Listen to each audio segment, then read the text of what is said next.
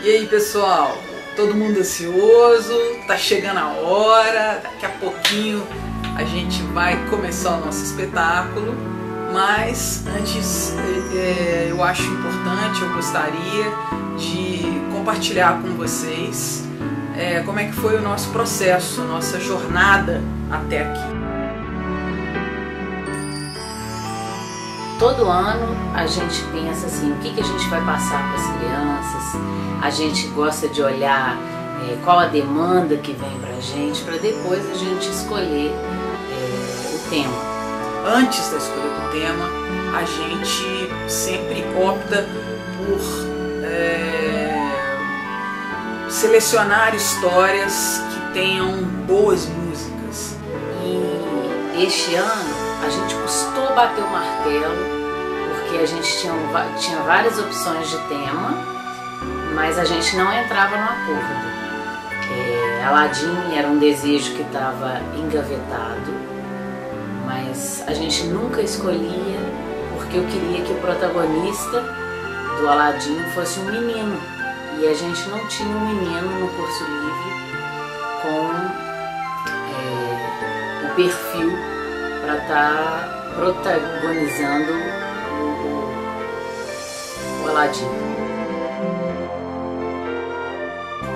vocês vão ver nesse espetáculo é, é uma criação nossa. Eu falo nossa porque o nossa engloba muita gente.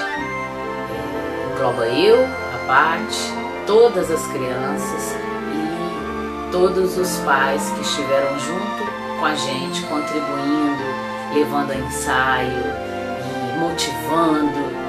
E é muito bonitinho ver o, o envolvimento de todos eles.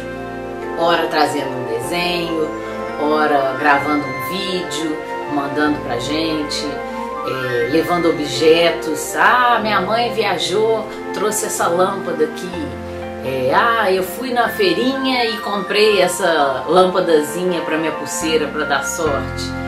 Então, é, a gente pode ver com pequenos detalhes como foi prazeroso para todos eles estarem é, participando disso de uma maneira muito saudável, muito gostosa e para mim é isso que vale. O processo é muito importante, tão importante quanto a apresentação.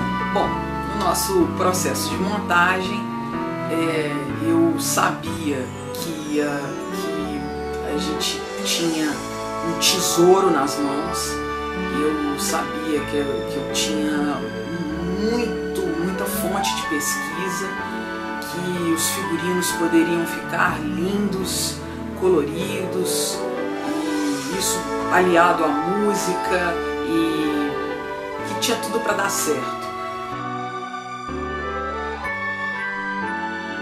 O espetáculo que vocês vão assistir hoje não é uma remontagem, é uma criação nossa, uma criação coletiva. É, eu criei a coreografia, as crianças embarcaram, deram várias sugestões, nas cenas, elas criavam junto com a gente os, todos os objetos de cena as, as crianças vão usar hoje no espetáculo. Fomos nós que fizemos com muito amor e carinho. Enfim, esse espetáculo é uma adaptação inédita. Bom, no final das contas, é fico me sentindo assim meio que como um gênio, que a gente chega para realizar eh, os desejos dos alunos, né? tentar fazer o melhor possível com, com todos os figurinos, os objetos, e tapete voando e coisa e tal. Mas eu preciso confessar que no final das contas mesmo, quem realiza os nossos sonhos, os nossos desejos. São eles.